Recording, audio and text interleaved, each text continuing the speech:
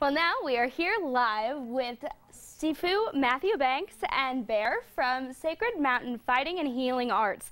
Now, they're going to teach us a little bit about lion dance. Do you want to take it away? Absolutely. So, we're going to go ahead and talk about some of the basic stepping. So, our martial arts are very important in our lion dancing. While it is a dance, we're still rooted in martial arts tradition here. So, we're going to learn a couple of our basic stances that are our first walking ideas with our lion dance. So the first one we're going to do is a horse stance. We're going to put our feet together. We're going to go toes out, and then we're going to go heels out. Then we're going to go toes out, and then we'll go heels straight. Good. Very like, brave doing this in right? heels today. Heels That's excellent. skirt. excellent. Right. So this is called our horse stance. We sink our hips straight down, and pull our knees out like we're riding in the saddle of a horse.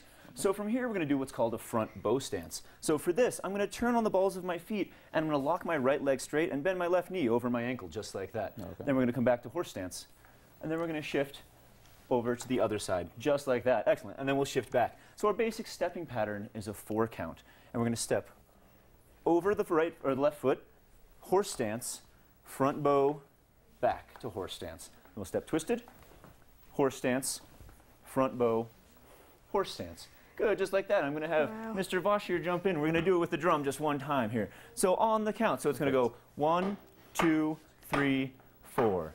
Step, horse, front bow, horse. Good. Step, horse, front bow, horse. Just like that. Have quite a feat of balance there, Yeah. especially on the heels. Yes, absolutely. Yeah, getting and that so we work too. this, yeah, absolutely. Stretching, we hold these for long periods of time in our classes as we're going through to get training for that. Well, I'll ask you just really briefly to tell us a little bit about lion dancing in general. as Yes, yes, absolutely. Lion dancing um, is a very old tradition. Um, it's been around um, since probably um, at least the Han Dynasty, so almost 2,000 years ago here. Um, the lion dance is a southern lion here. It's used for festivities, um, grand openings for buildings, uh, parades.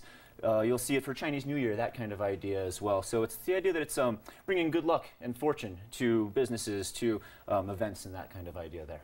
Definitely has a very varied and interesting history. How long have you guys been doing this? We've only been doing our lion dancing for about three months now, um, but we're continuing to grow this. We've been doing our martial arts for quite some time here. So, Wonderful. Well, thanks so much for joining us again today, and um, we'll have information on our website on how you can check out Sacred Mountain Arts. Sacred Mountain.